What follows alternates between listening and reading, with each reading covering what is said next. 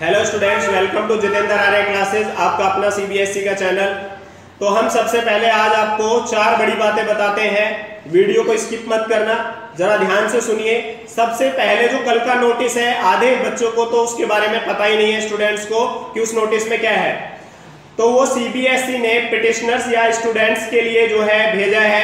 उसमें क्या है? सीबीएसई e ने कहा है कि भाई हमें बहुत सारे रिस्पॉन्स मिले. कोविड नाइन्टीन रीजन उसमें बताया गया है. तो ये सरासर झूठ है सीबीएसई e के पास बहुत सारे रिस्पॉन्स पहुँचे हैं। ये नहीं है कि सबने कोविड 19 का रीजन ही पहुँचाया है। अब हम चलते हैं, सबसे पहले उसने जो है कौन सी छह बातें नोटिस में डाली है?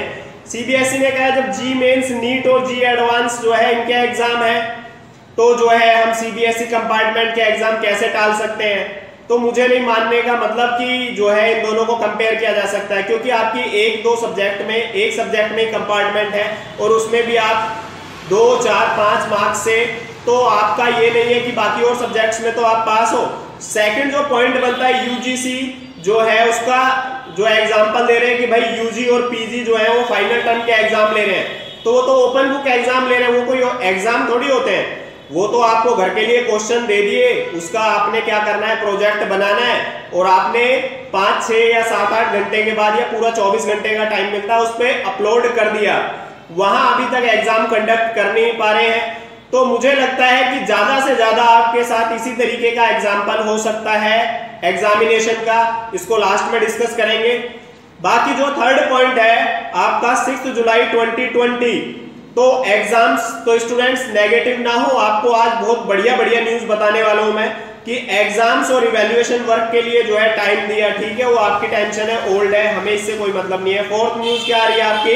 ट्वेंटी मई 2020 को स्टेट और सीबीएसई बोर्ड ने जो है एग्ज़ाम कंडक्ट करने की जो है सोची थी और ये मिनिस्ट्री ऑफ़ होम अफेयर्स ने कहा था, यानी कि ये एमएचए को बीच में लेके आ रहे हैं कि इन्होंने कहा था एग्ज़ाम है तो हम मना नहीं कर सकते हैं।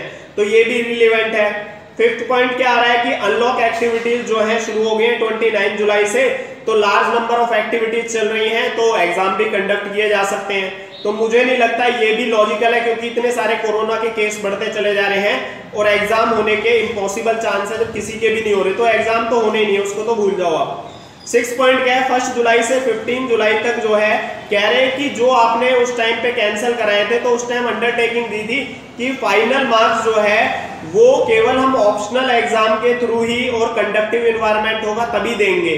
तो ये उस बात को पकड़ के बैठे हुए हैं तो कंपार्टमेंट वाले बच्चों से ये कह रहे हैं कि भाई आपके ये जो मार्क्स आ गए, अब जब एग्ज़ाम होंगे आपको देने पड़ेंगे।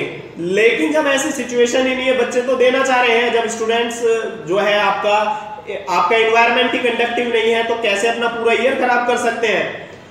अब क्या है, सबसे लास्ट में उन्होंने जो रिस्पॉन्स दिया है सीबीएसई ने, जिस नोटिस से सबसे ज़्यादा बच्चों को परेशानी हुई है request received in form of cancel the exam not acceded by CBSE CBSE इसको नहीं मानता सीबीएसई तो पहले भी नहीं मान रहा था। अब सीबीएसई जो सुप्रीम कोर्ट के अंदर पिटिशंस डाल रही है, उसके बाद उसको मानना पड़ेगा।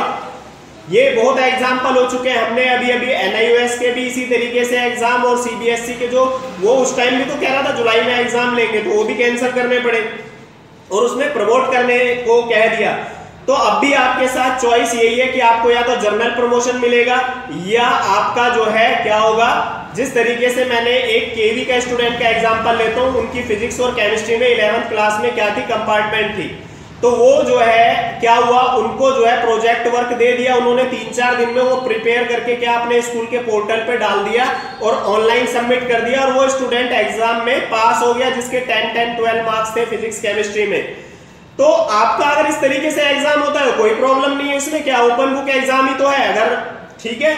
तो अब टेंथ को ये कहा जा रहा है कि अगर आपके कंपार्टमेंट है, आप इलेवंथ में प्रोविजनल एडमिशन ले सकते हो।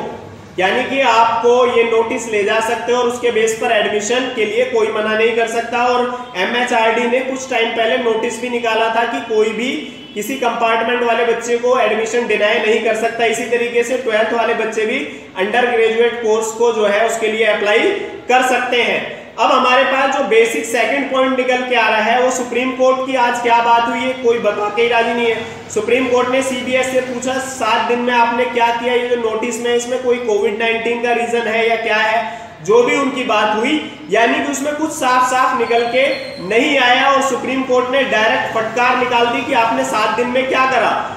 अब जो है, शक्ति पांडे सर और सुप्रीम कोर्ट ने जो है सीबीएसई के सामने जो है सात दिन का टाइम और मांगा सीबीएसई ने, जो स्टेक होल्डर ने, जो इन्होंने पहले ही कह दिया था कि हमें स्टेक होल्डर से बात करने के लिए सात दिन का टाइम चाहिए। देखिए, मैं ज़्यादा न्यूज़ बना नहीं सकता, मैं सीधा का सीधा जो डायरेक्ट आंसर है, दो या तीन दिन में एक न्यूज़ बनती है। अगर आप डेली दो दो तीन तीन न्यूज़ जो है देख रहे हो तो उसमें कोई न्यूज़ नहीं है, वो ज़बरदस्ती की न्यूजेज है।